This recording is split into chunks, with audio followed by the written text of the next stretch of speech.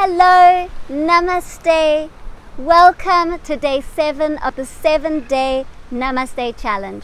And it's your final challenge today. You are all namasteyers because you've stayed right till the end. Your challenge today is to choose five people in your community and go and support them. Share the love, share the light, support them in whatever way feels right for you. Maybe you want to tell them about the seven day namaste challenge and help them move through it. Maybe you want to send them a message and let them know that you love them and that you're there for them. Whatever it is you're drawn to, go ahead and share the love, share the light. I have loved creating this challenge and sharing it with you.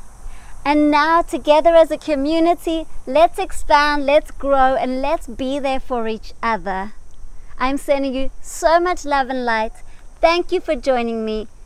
Namaste.